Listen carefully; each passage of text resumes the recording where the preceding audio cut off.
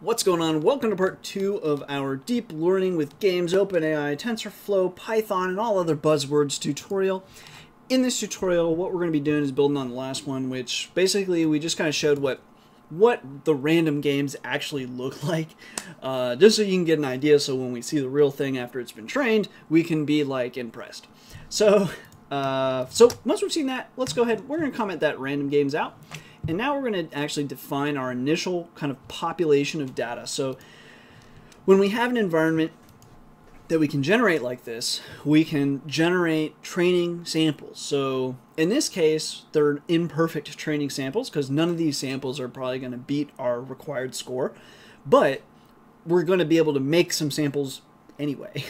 so the other things you could do, like for example, like if you're trying to treat, treat it train a neural network to do math, you actually, all those samples could in theory be perfect. You could just generate random, you know, just math numbers plus another number or multiply, divide, whatever, um, and save that as well. And then, you know, so you can generate data really quick. So that's what we're going to do here. So now, let me just make some space. And we're going to define initial population.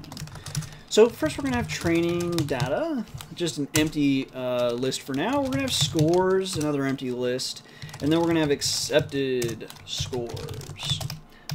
training data will be the actual data that we're interested in training on. This will be uh, the observation and the move made. Again, the moves will all be random, um, but we're only going to append to training data if the score happens to be above 50.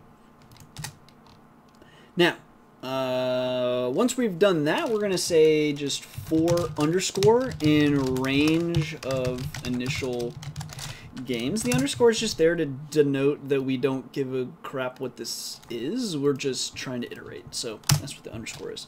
We're going to say the score is currently zero. We're going to save some game memory because we don't. We're, we're not going to know until the end of the game whether or not we did we beat the score or not. So we're going to store all the movements and such in game memory.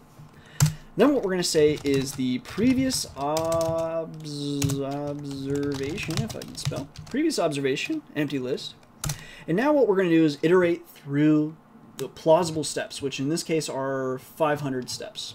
So we're going to say um, 4 underscore in range of the goal steps.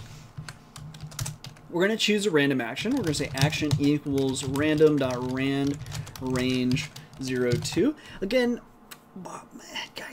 some of me wants to change this. I'm not going to change it on the fly, but but this might be better because I'm not familiar with this function in all the environments, but I'm curious if it would find, like, because some of the environments have, like, a lot of choices that you might forget about or, or something, and if the agent could know, but in reality, the agent's not going to know that. I don't know. I don't know if that's fair. Anyway, we're just going to do this for now. So zero, basically random.rand range zero to two, literally corresponds to being it will either be a zero or a one. This is rand range two two, so this will only generate zeros and ones. So we have the action.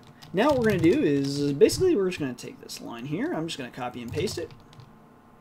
Observation, boom, step, take the action. Awesome.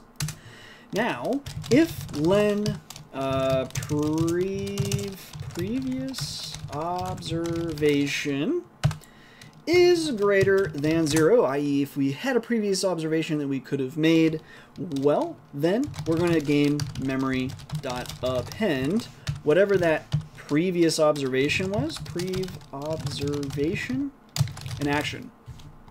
So what are we doing here? So this is something I don't normally see. I'm not really sure when the action happens. So, but when I look at this code here, it suggests to me that the observation is occurring after we took the action. So saving the action according to the actual observation that's returned doesn't make much sense to me. I think it's smarter to take that previous observation and the current action. I think that's smarter. And then basically when you're done here, you say now the new previous observation is equal to observation. I might be totally wrong here. Feel free to just go off of the basic observation and not be one frame behind if I'm incorrect. Um, either way, we, sh we should do fine. So, Uh, observation equals observation. Okay, so now what we're going to say is score plus equals whatever that reward is, which again will either be 1 or 0, but 0 will only occur if we've lost. if done, we break. Now, if all this occurs, because remember, so so this is for the entire game, and then we're storing that game's, you know, happenings to the game memory. Now, if that game is indeed um, a winning game, if we did good, uh, basically what we want to do is we want to save that information.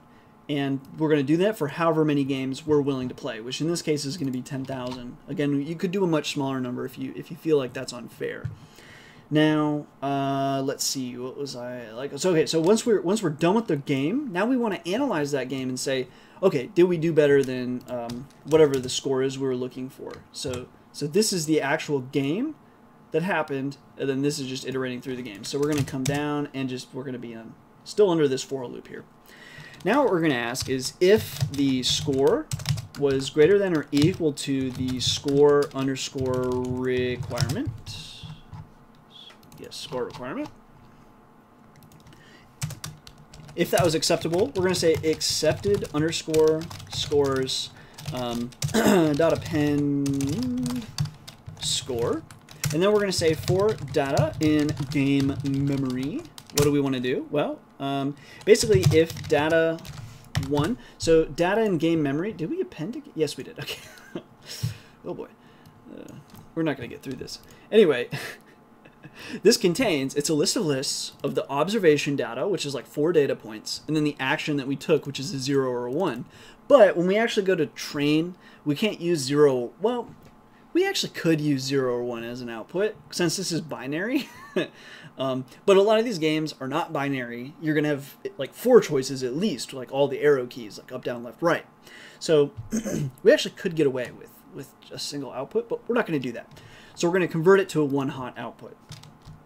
So if data 1 is equal to 1, uh, we're going to say output equals 0, 1. elif data 1 equals 0, output equals 1 comma 0.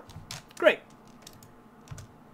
Now, what we're going to say is, uh, whoops, training underscore data dot append data 0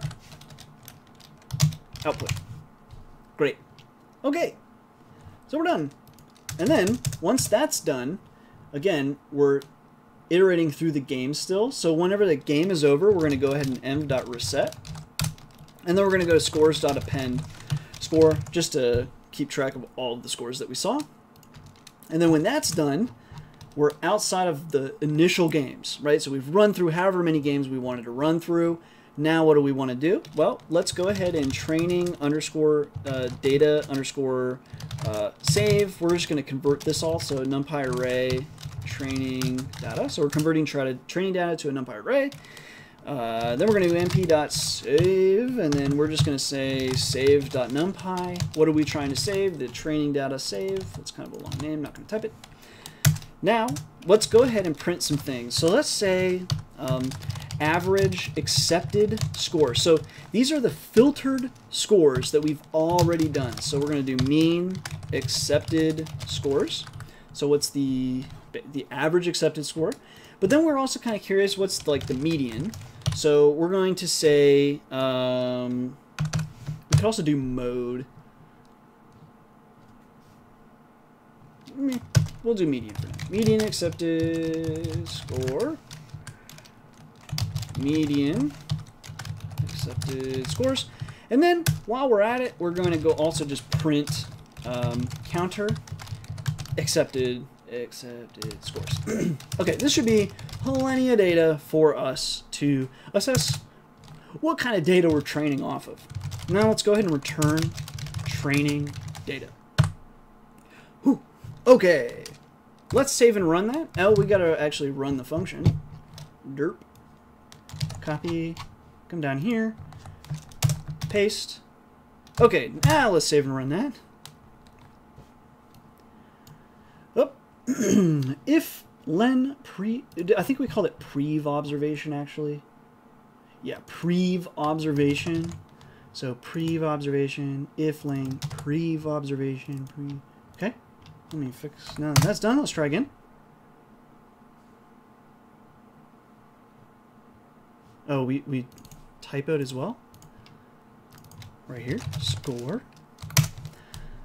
Third time's a charm. Oh my gosh. Wow, this is a lot of typos. I should probably quit. Apologize for all my typos. Hopefully we didn't, yeah, okay, we didn't render. So, as you can see, we ran through 10,000 environments really fast, and that's because we didn't render them. It actually, you know, it took us a few seconds to run through five, and you can actually use another variable like remotes equals like you know 12 or something, and you could you could run quite a few at a time, but still not going to be as fast as running a headless. Anyway, in these 10,000 examples, the average score was 61, the median was 57, and then here are basically all of the scores. This was actually a really good sample. I've, this is probably one of the best ones I've ever seen. Uh, in most cases, maybe one or none of the scores will be above actually like 100. I kind of want to run it again. This is almost like unfair. we will. Well, actually, we will run this again, so it's okay. But anyway, as you can see, none of these, the best one was a 118. There was only one, then you had a 113, just one, and so on. And then you start really getting into the meat of the ones once you get under about 100. Anyway, um, actually, wow, this guy got a 153. Dang. Yeah, this one was just a little unfair. Man, we're going to have to run this one again, probably. Anyway, uh, okay. So what we're going to do now in the next tutorial is create a neural network model that's going to take this training data and fit to the training data. And then we're going to use that network to now actually play the game. Uh, and we'll see how it does playing the game. Anyway, if you have any questions, comments, concerns, complaints about my typos, feel free to leave them below. Otherwise, I'll see you in the next video.